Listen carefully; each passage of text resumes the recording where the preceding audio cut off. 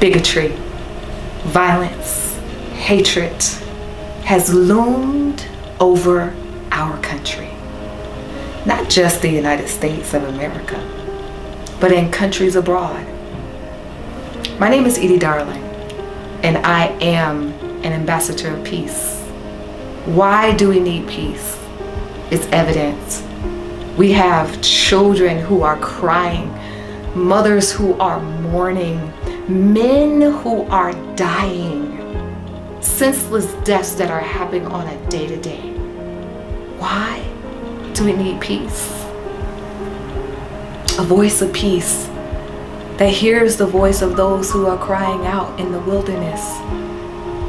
I bring hope to the hopeless, those who are lost, those who are hurting, to know that God loves them, to know that they are not alone, to know that there is someone who cares, whether it's an individual, whether it is a city, whether it is a county, a state, or our entire nation.